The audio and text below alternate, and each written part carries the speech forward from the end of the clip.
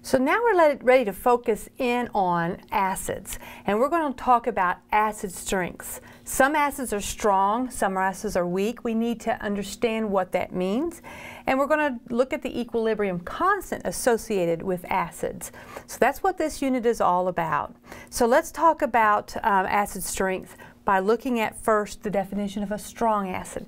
Now some people think, ah, strong means it's nasty, and um, you would eat your face off or something like that. Well, that's not what strength of an acid means. It's not going to mean that if I pour it here, it's going to eat through the floor.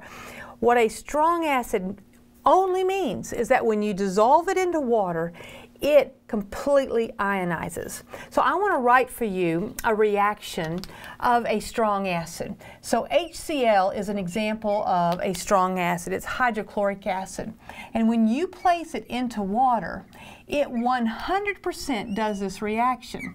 Now this is called the acid ionization reaction, okay? When an acid ionizes, it's basically breaking this apart, but the H's I'm showing it going to be donated to the water, so that will leave me with Cl minus and H3O plus. Now I've left the states off here, um, but that's what strong acids 100% move to form the products. And we call this the ionization. Now, if this is an ionic compound, we call it dissociation. But when it's an acid or a base, the name of this reaction is ionization. Okay, so there is this reaction on your screen there. And then we're going to look at all the other strong acids. We have HBr, HI. Now see, those are similar to this. This is hydrochloric, then we have hydrobromic and hydroiodic. Those are similar. Then we have nitric acid, HNO3. We have perchloric acid, HClO4. Those are the first five. There's one more, and that's sulfuric acid. And I, all of these could have a re reaction written for them. I chose not to write it over and over again, but I, I did this last one here because it is a strong acid only for its first hydrogen. You notice sulfuric acid, we call it a diprotic acid. It has two hydrogens on it. It's only the first hydrogen that is a complete release. It doesn't show it losing both of those.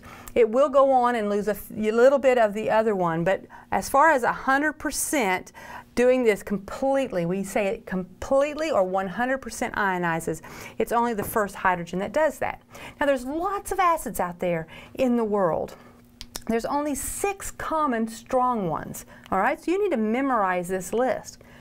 Because when you start doing problems and you're given an acid and you're given calculations to do, the first thing you have to do is say, ah, it's an acid. Usually you recognize it because it has an H at the beginning, okay, an H at the front. And then you run through your list of six and decide whether it's a strong acid or a weak acid because the way you work the problem is different depending upon its uh, categorization. So you make sure you memorize these six. Start now with your flashcards. Okay, now we're going to focus in on this diagram to show the difference between a strong acid and a weak acid. To find a weak acid says it only ionizes to a limited extent. It's much less. It's not like you have 100% and then you might have 99%. It's either 100% or it's really low. It's usually in, you know, maybe 1%, 2%, 10%, something in that range. Um, so that's weak acid. So when you look at what I'm representing here, on the left is the strong acid. Now, I want to change this H plus to H3O plus, okay? Um, because I'm taking this plus water and I'm turning it in, and that doesn't look like water, does it? I'm turning it into H3O plus plus Cl minus. So we put some HCl in, but when I look at what we have here, there is no HCl still in there all of the HCl turned into Cl minus. There's my orange represents that. So I have six Cl minuses in there. I had started with six HCl's, all of them ionized. So I should be able to find six H3O pluses to go with that. So I look up here and I see an H3O plus, and I could keep looking through there. I want to point them out to you because they look so much like the water molecules. There's the six of them, one, two, three, four, five, six, to go along with the six Cl minuses. So for every, I put six in, I got six of these, and I got six of those, and that's what the image is showing me. So that would be our strong acid representation, right? 100% one-way arrow, all of that. Now, Over here, I started with, this is where I started. I should do it more this way. I started, and then at equilibrium, I still have some of the HF. So this is really not a reaction, but I started like this and then I finished like this and there's still some HF and there's still some, let's call it H3O plus instead of H plus. Now, let's, how much did I put in there? I put one, two, three, four, five, six in, okay? But when I say it only ionizes to a limited extent, only one of those donated its proton, okay? So somewhere in here is an H3O plus, and there it is. My arrow is pointing to it right there. Okay, so I started with six. I finished and I still had five of these and produced one of those and one of those in my image. That is what I mean by ionizing only to a limited extent. Not much of it formed. Okay? Um, I've already established which one is the weak acid. I forgot that I was going to have you figure that out, but let's erase a little bit of this chaos on here, okay, just so you see again what we have. So this is where I start. This is at the end, and I'm going to call the, I'm going to put it in quotes. This is how I started, and once the reaction at the end, this is what I have. If you have none of the strong acid present, then that's your strong acid. And if you still have some of the acid present, then that's your weak acid. Most of your acids are weak acids. So when I have you memorize the six strong acids, it's because that's a very small list. But there's a lot of acids out there, and most of them are going to fit that category. Now we're going to put this little fact in here for right now. We're coming back and visit it from time to time. It's, it is an important statement okay? Because we have strong acids and we have weak acids. This says the weaker the acid, the stronger its conjugate base. Well, what is the conjugate base of HF? Well, that would be F minus, what it becomes after it donates its proton, okay? So this is my weak acid, B, we've established is the weak acid of the two. Its conjugate base would be stronger than this guy's conjugate base. That statement is going to be important and we'll keep examining it from time to time. All right, so now we're ready to talk about an acid ionization constant. It's K sub A.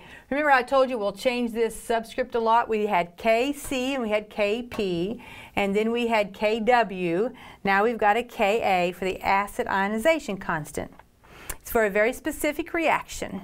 So we're going to consider this this substance, and let me go back to the board for a moment. Well, let's have you answer that. Is that a weak acid or is it a strong acid? Question is, how in the world would you know that just by looking at it? Well, you know that because you've memorized the six strong and that's not on the list. So it's a weak acid. So let's write the equilibrium. What we need to do is we need to write the acid plus water and then do our proton swap. You will not be given the reactions in this chapter. You're going to always be expected to write your own reactions. All right, so I have CH3, COOH, first of all. That is kind of a weird way of writing. This is the organic chemist's way of writing this substance, which is acetic acid. When you see the COOH grouping like that, they're telling you that this is the acetic acid, I mean this is a this is a organic acid group and it's this hydrogen that is donatable. Okay, it is that one that is donatable and I know that's way too small for you to read out there, donatable. It's not these. And you're asking yourself, well, I thought acids always had hydrogens written at the front. You will sometimes see this acid, especially in general chemistry classes, as written like this, HC2H3O2. That way we see that H at the beginning, and this is a completely acceptable way of writing acetic acid as well. All right, so we take that substance and we have to be able to write the reaction. So you put it, this is the acid ionization reaction, we put it in water, okay? This is dissolved in water. We'll put an AQ there okay? And we will do a reversible arrow because this does not go 100% towards products. You will always have some of this present there and we reach an equilibrium state. So now we're going to donate the hydrogen. Make sure we donate the right one. That will leave me with CH3, COO, and when it got rid of an H+, plus, it gives it a negative charge. It's aqueous. And then what did the water become if it accepted that proton? It became H3O plus. Okay? So when we dissolve this in there, some of it will turn into this ion. And then once you've reached this equilibrium, you're going to have these coming back together and then splitting back apart. We have this reaction going back and forth at, the, at a constant rate. Just for the sake of uh, consistency here, you might see this reaction written this way instead. If it's, it's the hydrogen here that is donatable because it's written at the front. So you would be left with C2H3O2 minus plus H3O plus. Both are acceptable ways of writing acetate. When you move, for those of you who will move on to organic chemistry, you'll see your organic acids written this way instead of this way. All right, so you're going to write equilibrium. There it is, okay? And then what we have to be able to do after we've written that is we have to be able to write the equilibrium constant expression. So pause the video and write your expression. All right, so we have the K and we give it an A because it's an acid, okay? Then we do products, CH3, and it doesn't matter which one you chose to do. Um, H3O plus. Okay, and then we have our reactants. So we have our CH3, COOH, and we're done. Why don't we include that? Because remember, we don't conclude, include liquids or solids. We would only do things that are aqueous in this case, all right? So there is our equilibrium constant expression, also known as the law of mass the law of mass action, okay? Okay, so we remember that. I've already talked about how we would leave out the H2O. Oh, it says the values are given in a table 15.5. You're going to totally disregard that. So I'm going to come over here and I'm going to cross that out. That is left over from an old textbook, okay? Um, you will find tables on the internet. Uh, look up acid ionization constants or look up Ka values, and you're going to be able to find those just fine there. I'm sure our textbook has them. I just do not know the table reference. Now let's examine it, okay? I've got myself a reaction, a generic couple of acids here. Whoa, wow. Okay, you're looking at it, I see it. Um, for this reaction, I am showing you what you started with initially, and then at equilibrium, what you would have. Okay, so the reaction takes place, and we still have some of that HA in there, but we have the ions in there.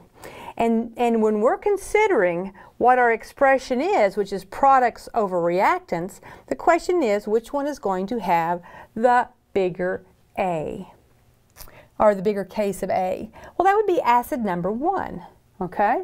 Because you're going to have more product than you have reactant. I mean, you have more product in it than you have in number two, the acid two. So the red one would be have the bigger K. So how would we decide which one's stronger? The stronger the acid, the more it ionizes. That's how we define strength of acids. A fully strong acid ionizes 100% and you wouldn't have any HA present, okay? But a weak acid, you would still have some HA present at equilibrium, but the more it ionizes, the stronger the acid. So which is stronger? Yeah, so that also would be acid number one. Okay? Now, remember back to that little blue box. I want you to think about the statement, so you need to maybe pause and go back and look in your notes. Which base, called A minus in this case, it's a conjugate base, which base would be stronger? Well, the blue A minus, which is from the second reaction, would be stronger as a conjugate base. So this guy right here is a stronger base than that guy there, okay? Because the weaker the acid, the stronger its conjugate base. All right, let's revisit this equation. When we dissolve an acid in water, and we could pick any acid, okay? So let's just pick the generic one we were looking at on the previous screen. We called it HA, okay? We dissolve that into water, and this equilibrium took place, and I formed A, that looks like a plus, getting ready to be formed. It's A minus plus H3O plus, okay? Now, we go in and we add some acid. When you add that acid, you're adding it to water. What's going to happen to the H3O plus concentration? Well, it's going to go up, all right, because you're generating H3O plus.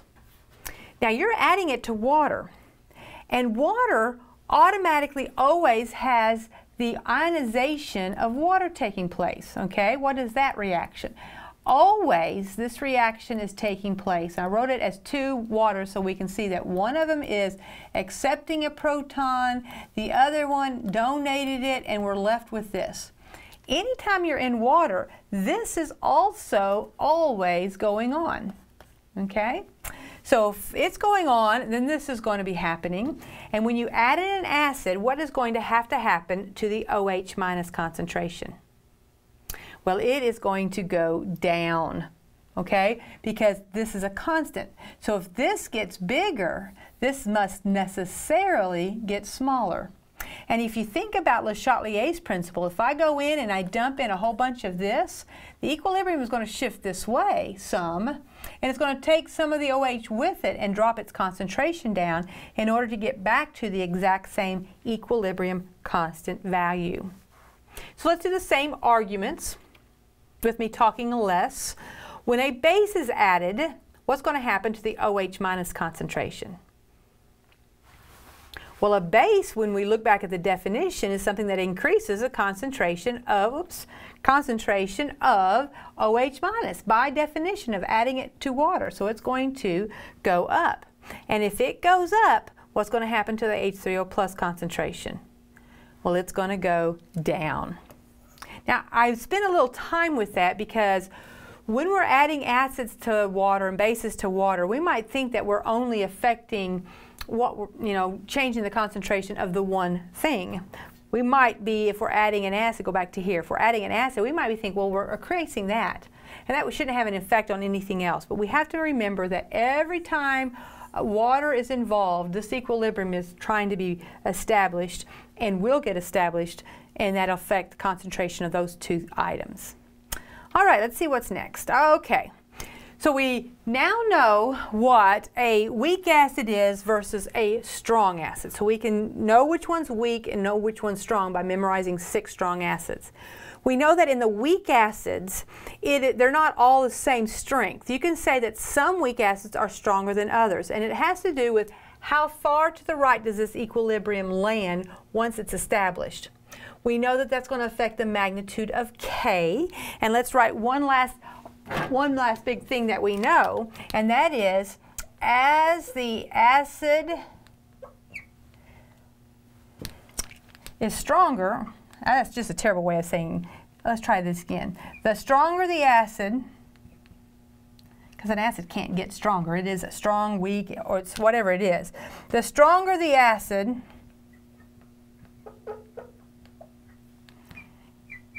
the larger the constant for that acid, which we call Ka. So these two things go hand in hand. The stronger the acid, the larger the Ka value is going to be because this equilibrium lies farther to the right because it's stronger. And if it lies farther than to the right, you've got more in the numerator. So these two things go hand in hand, and you're going to have to make sure you're using that information quite often. All right, so that's strength of acids. What's up next is we're going to start utilizing what we know about equilibrium constants and be able to calculate pH of acid solutions.